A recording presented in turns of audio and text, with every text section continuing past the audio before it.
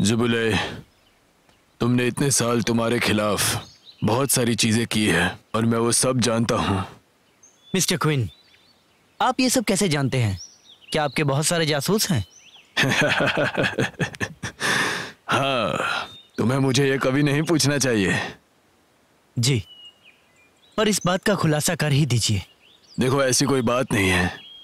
मैं तुम्हें ये बताना चाहता हूँ कि तुम अपने जीने का तरीका जरा बदल दो। मुझे पता है तुम्हें मारना वगैरह पसंद नहीं है। तुम ऐसी ज़िंदगी से पहले से ही परेशान हो चुके हो।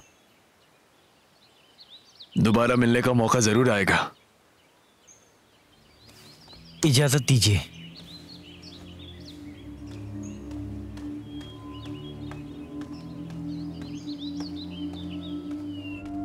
युनवेन हम साथ में पले बड़े हैं। क्या तुम्हें भरोसा नहीं? क्या तुम्हें राजकुमारों की शक्ति कम करनी है? हाँ बिल्कुल। मगर क्यों? क्योंकि कोई भी चाचा मेरी सुन नहीं रहे। अगर शक्ति कम कर दी तो वो मान जाएँगे। उन्हें मानना होगा। अगर नहीं माने तो क्या करोगे? मार डालोगे उन्हें? योंगपिंग हम इसके बारे में क्यों झगड़ा कर रहे हैं? तुम इसकी चिंता क्यों कर रही हो? तुम्हें महाराज की शक्तियाँ कम करनी है ना? तुम मेरे महाराज को मारने वाले हो ना? और मुझे भी। नहीं योंगपिंग तुम तो मुझे जानती हो। मैं तुम्हें कभी नहीं मारूँगा। और महाराज का क्या? और मेरे जज्बात बदल सकते हैं। योंगपिंग तुम्हारे लिए मेरा मन नहीं बदल सकता। अगर मैं सिंहासन पर बैठूँगा तो मैं तुमसे शादी करूँगा। हाँ योंगपिंग तुमसे। और कुछ मत कहो। मुझे एक बात बताओ। महाराज और शक्तियों के बारे में बिल्कुल भी बात मत करो। क्या तुम मुझे चाहती हो? बोलो योंगपिंग बताओ मुझे। मैं ठीक है मैं समझ गया। कोई है? जी राजकुमार। राजकुमारी योंगपिंग को ठंडी जगह पर लेकर जाओ। जल्दी करो। वो मेरे इजाज़त के बगैर बाहर नहीं जा सकती। जी। मुझे छोड़ दो। जाने दो मुझे। मुझे छोड़ दो। युनवेन राजकुमार की शक्तियाँ कम मत करो।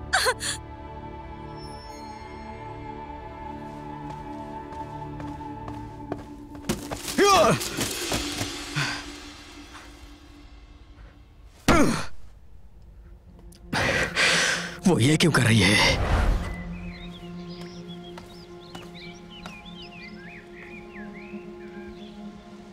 अच्छी खुशबू है ना? सही कहा।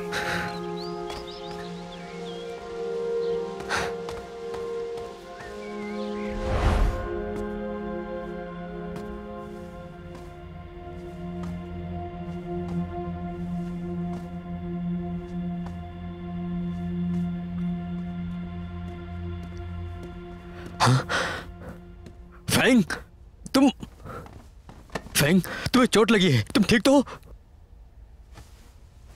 तुमने भाई को कुंफू छोड़ने के लिए क्यों कहा? मैंने तुम्हें मारने के लिए लोग नहीं भेजे थे। मुझे पता है मुझे ये बताओ भाई को कुंफू छोड़ने क्यों कहा? तुमने मुझे वादा किया था। तुम मेरे भाई को कुछ नहीं होने दोगे। मुझे बस उनको कुंफू में हराना था। मैं उसे मारना नहीं चाह रहा था फैंग तुम्हें पता है वो जूडी का आदमी है। इस दुनिया में उसके जैसा कुंफू में कोई माहिर नहीं है। अगर युद्ध शुरू हो गया और उसने सैनिक बढ़ा लिए तो फिर हम उसे युद्ध में कभी नहीं हरा सकते। जुयन वैन तुम भला इतने क्रूर क्यों हो? तुम अपने दोस्तों के साथ ऐसा कैसे कर सकते हो? मेरी बात सुनो फैंग। जब तक लेई के पास कुंफू नहीं है जूडी उसे जाने देगा। उसे अब लड़ने की ज़रूरत नहीं। और उसे उन चीज़ों को करने के लिए दयालुता चुकाने का बोझ भी नहीं उठाना पड़ता है, जिससे वो नफरत करता है, फ्रैंक। मैं उसके भले के लिए कर रहा हूँ।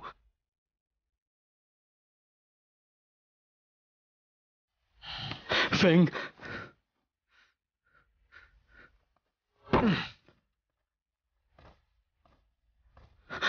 फ्रैंक, क्या वो मर गया? बताओ मुझे। भाई को मेरे लिए अपना कुंफू छोड़ना पड़ा, ताकि हम जेड सील पा सके। लेकिन मैंने उसे हरा दिया। वो अब कैसा है? वो अब तक कोमा में है।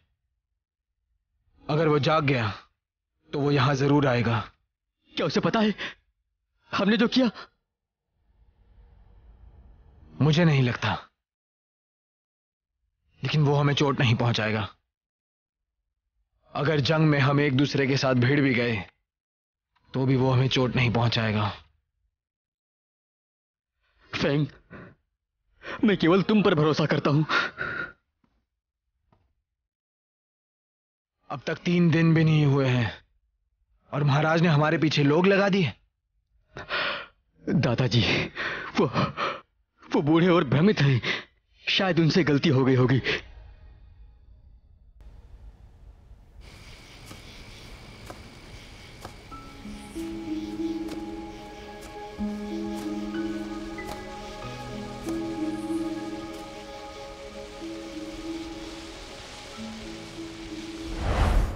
देखो, मुझे दोष मत दो।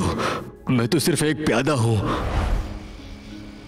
मेरे सबसे भरोसेमंद दोस्त ने झूठ क्यों बोला? आखिर क्यों?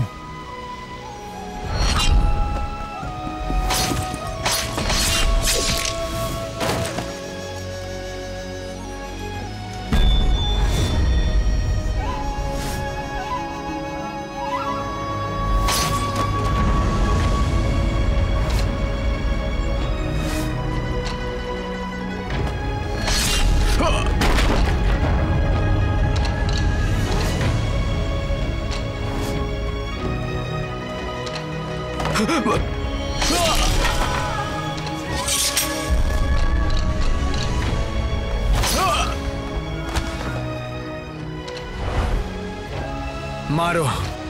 मारो मारो। मुझे किसी को नहीं मारना। मुझे किसी को नहीं मारना।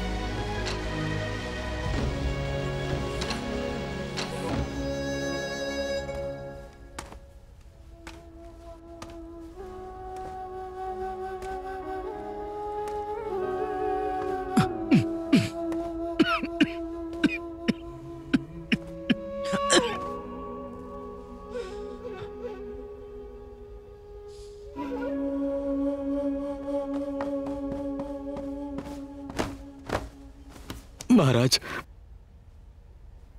फेंग वापस आ गया है। क्यूबलई कहाँ है? महाराज मुझे नहीं पता। अपने सभी आदमियों को तैयार करो। यू फैंग को मेरे पास लेकर आओ। जब ये सब खत्म होगा तो तुम होगे यहाँ के मुख्य सैनिक। धन्यवाद महाराज। आप सौ साल तक जियो महाराज सौ साल तक।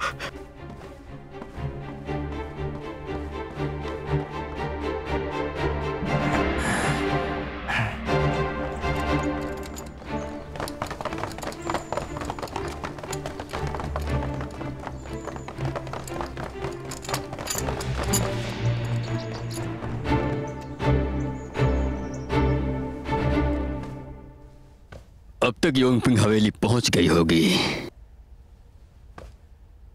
मुझे तो पता नहीं कि अब क्या हो रहा होगा। राजकुमार यान चिंता मत कीजिए आप। अगर जेड सील सच में चोरी हुआ है तो शाही आदेश आपको मदद करने के लिए कहेगा और वो नकली हो सकता है। हमें अभी रुक कर देखना होगा। जुबुलई के साथ क्या हो रहा है ये मुझे नहीं पता। उसे मैं ढूंढ भी नहीं पाया। अगर वो आसपास नहीं है, मैं योंगपिंग की सुरक्षा की चिंता करता हूँ कि कहीं कुछ हो ना जाए। राजकुमारी यान, चिंता मत कीजिए। ज़्यादा से ज़्यादा तो राजकुमारी योंग पिंग को नज़र कैद में रखेंगे। उसकी जान को खतरा नहीं होगा, बल्कि महल में हमारे आदमी है। जल्दी आपको खबर मिल जाएगी।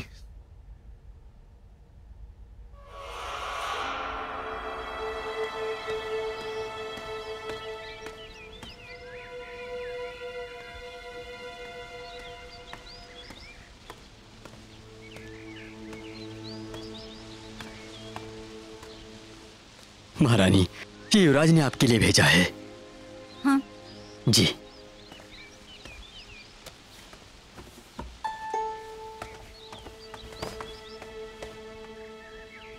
महारानी मैं राजकुमार यन के साथ हूँ। कृपया खबर भेजिए कि मैं नज़र कैद में हूँ। मेरे महाराज को कहो कि मेरी फ़िक्र ना करे और तैयार रहे। जी महारानी। क्या? योंगपिंग यहाँ पर है? उसने कहा कि राजकुमार की शक्ति कम ना करो। कहाँ है वो? ठंडी कक्षा में। क्या कहा? फेंग मैंने उसके बारे में नहीं सोचा है पर तुम चिंता मत करो मैं उसे ज़्यादा परेशान नहीं करूँगा। हमें राजकुमार की ताकत छीननी होगी। लगता है जूरी आने वाले हैं। दस हज़ार की सेना है उन लोगों के साथ। महाराज कुछ ना कुछ तो करेंगे। शाही कानून।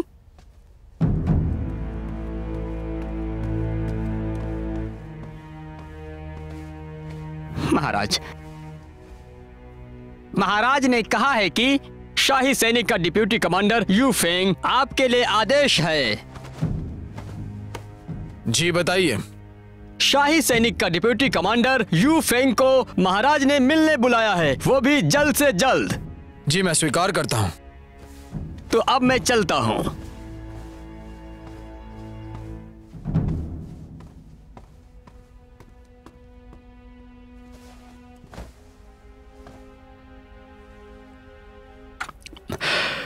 दादाजी को कैसे पता कि आप यहाँ पर हो?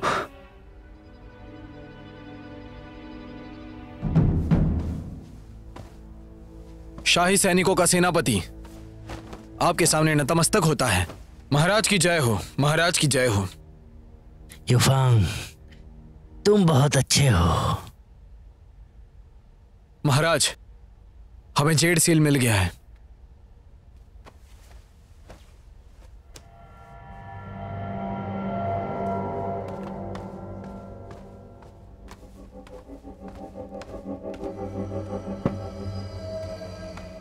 अच्छा है।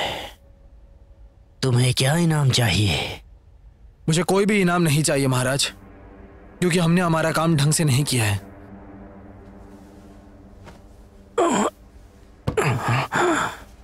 तुम्हें इनाम नहीं चाहिए? तो फिर तुम्हें क्या चाहिए? मेरी हिम्मत नहीं। तुम्हारी हिम्मत नहीं? तुम्हारी हिम्मत हुई कैसे? जुबुलई मर गया कि नहीं? नहीं, वो काफ़ी जख्मी हुए थे, इसीलिए नहीं मारा। मैंने उसे तुम्हें मारने के लिए कहा था, मगर उसने तुम्हें नहीं मारा। यूफांग, ये खतरनाक और बहुत अच्छी चाल थी। तुम्हें पता है, यून वॉन डरफोक है। तो तुमने उससे मीठी मीठी बातें करके उसे राजकुमार की शक्ति कम करने के लिए बोला। शाही जेड सील चुराने और जीवडी को यहाँ लाने के लिए बोला। तुमने मुझे लोगों को मारने के लिए कहा। तुमने मुझे मेरे सगे बेटे को मारने के लिए कहा। जैसे तुम्हें पता है, अगर मैंने ये नहीं किया तो यूनवैन ये आज नहीं तो कल कर लेगी। जबकि इसका बीज पहले ही बोया जा चुका था। तुम मेरे पारिवारिक मामलों में आ रहे हो। तुम भी लालची और बहुत क्रूर हो। तुम जुबिलही को हमेशा से कम समझते आए हो। क्योंकि तुम्हें उसके खिलाफ लड़ना है। अगर ज्यूडी जीत गई तो ज्यूबिलही तुम्हें बचा लेगा। मगर ये मत सोचना कि यून वैन को मैं जुबिलही का कुंफू हटाने के लिए बोल दूँगा। जूबी लई ने मेरे लिए बहुत कुछ किया है। मुझे उसे ज़िंदा रखना है, पर मैं उसे उस ज्यूडी का आदमी नहीं बना सकता। ज्यूडी ने उसे बचाया है। वो उसका वफादार रहेगा। तो मुझे उसका कुंफू मिटाना है। ऐसे ही तुम्हारी वापसी का रास्ता बंद होगा। तुम बहुत चालाक हो, लेकिन मुझे सब पता है। तुम्हें ये उम्मीद नहीं थी। महाराज ने युनवान को शाही सील चुराते देखा। तुम्हें यह भी नहीं पता था, मैं तुम तक पहुँच ही जाता, सुरागों के ज़रिए, और तुम्हें पकड़ लेता।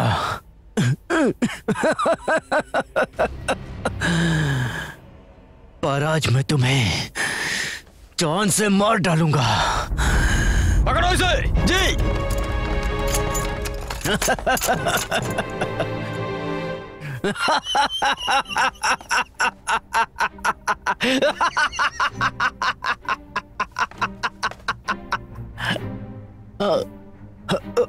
महाराज तो तुम तुम यहाँ क्या कर रहे हो?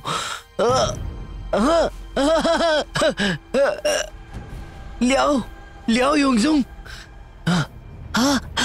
जियोडा होव्युंग लैंड यू। तुम सब यहाँ क्यों हो? क्यों आए हो यहाँ? मुझे लेने आए हो ना? है ना? आ जाओ। तुम सब यहाँ हो। कितना अच्छा है। महाराज। महाराज महाराज महाराज महाराज क्या हुआ? महाराज महाराज महाराज महाराज वैद्य को बुलाओ। जी। महाराज।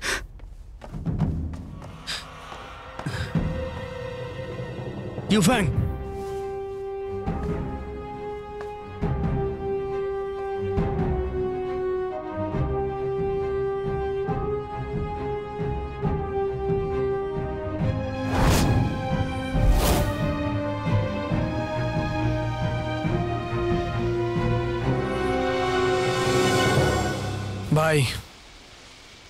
चलो चलते हैं।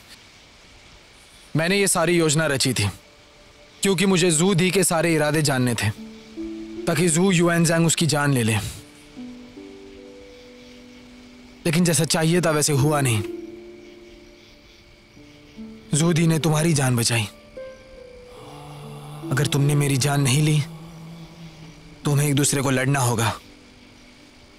जंग के मैदान पर क्या यह तुम्हें मंजूर है? मैं किसी को नहीं मारना चाहता।